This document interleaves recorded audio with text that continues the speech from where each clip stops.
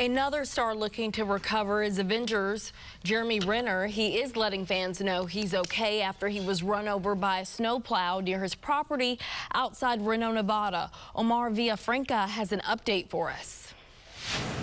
In a post to his fans and well-wishers Tuesday, Marvel star Jeremy Renner shared a selfie from his hospital bed, showing just some of the bruises he suffered in a snowplow accident near his home in Nevada on New Year's Day.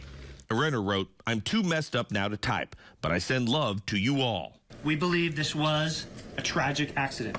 The Washoe County Sheriff says the actor was run over by his snowcat, a vehicle weighing more than 14,000 pounds and used to plow snow. Mr. Renner's personal vehicle, which was being driven by a family member, had become stuck in the snow near his home. After successfully towing his personal vehicle from its stuck location, Mr. Renner got out of his PistenBully to speak to his family member.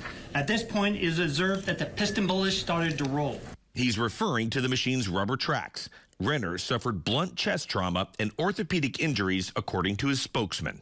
Just days before, he posted videos of himself on social media using plows to clear paths around his home in Washoe County and had been using them to clear the roads for him and his neighbors.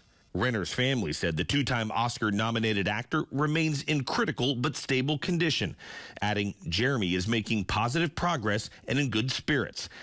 Omar Villafranca, CBS News.